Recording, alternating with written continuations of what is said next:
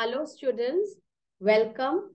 Today we will be discussing the experiment of energy band gap of a given semiconductor material by four probe method.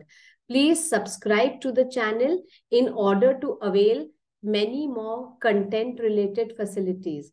This is what the experimental setup looks like where you are going to measure the energy band gap of a given germanium semiconductor material with the help of four probe method. So what apparatus will I require for this? I will require a probe arrangement, sample, usually germanium, oven and a four probe setup the electric circuit of my experiment will be looking like this. Here, the outer probes will be measuring the current, whereas the inner ones will be measuring the voltage. And this S is the distance between the probes. Then it is a very simple digital experimental setup. Now, this is what it looks like in the physics lab. Here, this will be giving me the reading for ammeter voltmeter display. Here, I am going to control, this is the oven which is kept at the top. This will give me the digital temperature display. With the help of this knob, I will set up the range. Like for my experiment, I will be setting up the range of 10. Here is my on off switch. Here the LED display of oven temperature is there. The knob is there.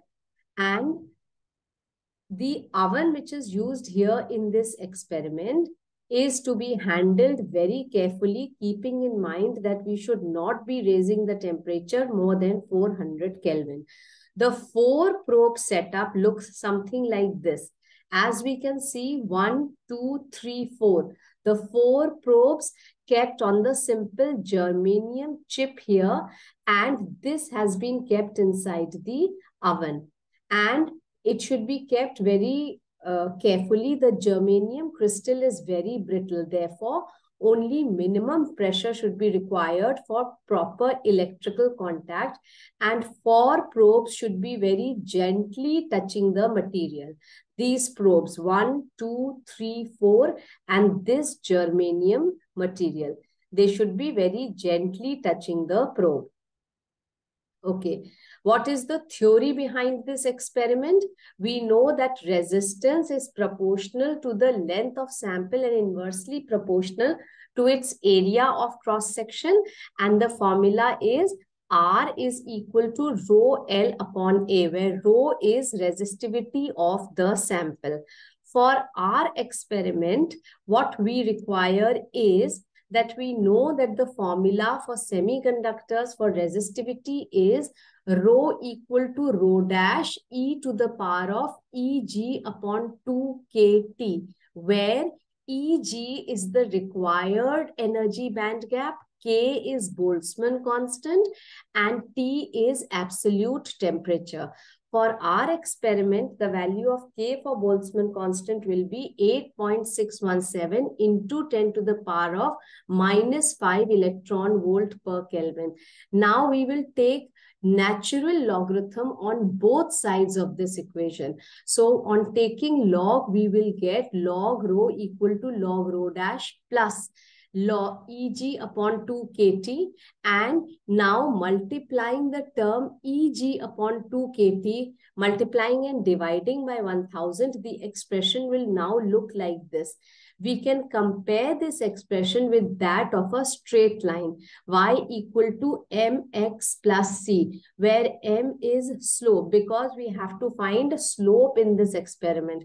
So when we compare this expression with the expression of a straight line, we will get slope m equal to eg upon 2k into 1000. Now slope of plot between log rho and 1000 upon t will be equal to Eg upon 2k into 10 to the power of 3. So band gap Eg will be equal to slope into 2 into Boltzmann constant into 10 to the power of 3. This is the formula to be used in this experiment. That is, band gap energy is equal to slope into 2 into Boltzmann constant into 10 to the power of 3 graph has to be plotted between log base E rho and 10 to the power of 3 divided by absolute temperature in Kelvin. It will be an approximate straight line and we will find the slope of from this plot that is del y by del x. And finally, we will get the answer for band gap. So what is the first step in this experiment?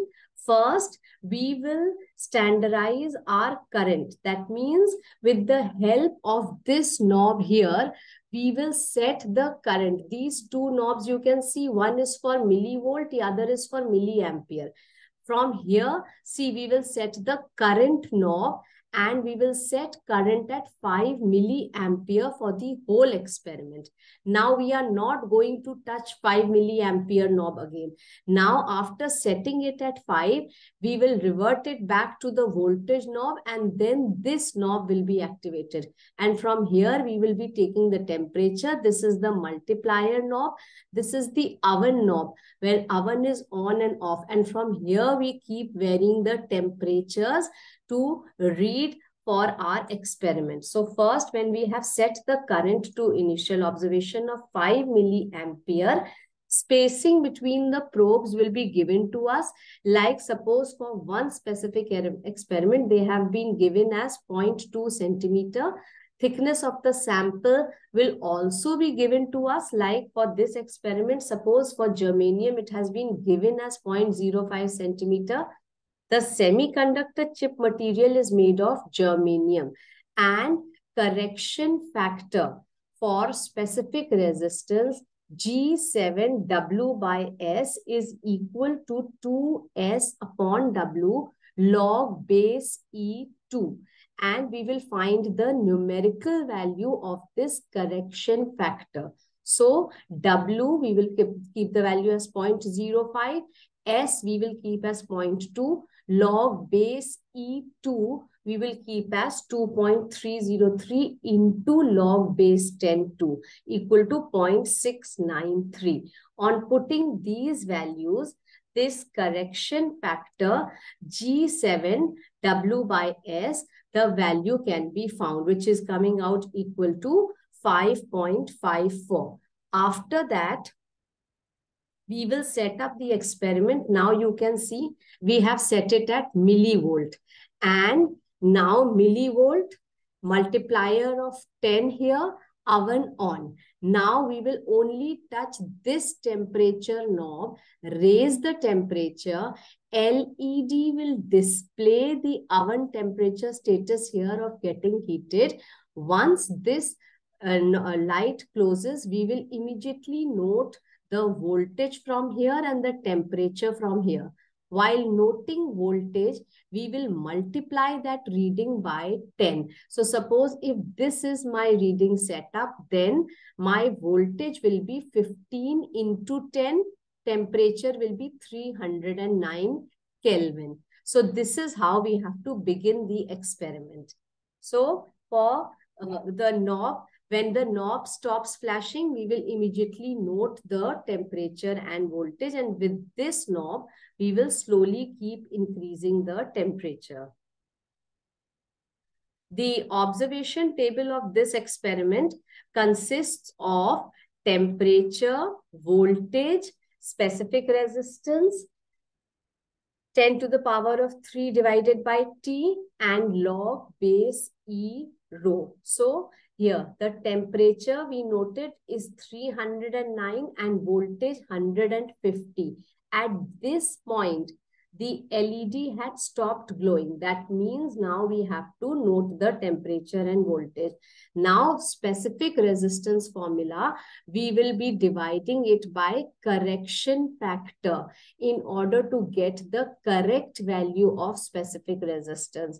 So the specific resistance formula rho is equal to V upon I into 2 pi S spacing between the probes divided by G7 W by S which is correction factor. Next table, uh, next column, 10 to the power of 3 divided by absolute temperature. Next column, log base E rho. And then we will plot a graph between 10 to the power of 3 divided by T and log base E rho. Find the slope of that graph. And for band gap, EG is equal to 2 into Boltzmann constant into slope into 10 to the power of 3 and we will get the answer. So how have we done the calculations? I will explain you for two readings. Suppose at 309 Kelvin, the voltage shown was 15. I multiplied it by 10 and it is 150. My specific resistance rho becomes equal to 150 divided by 5. 5 is that current which I had set right in the beginning of the experiment.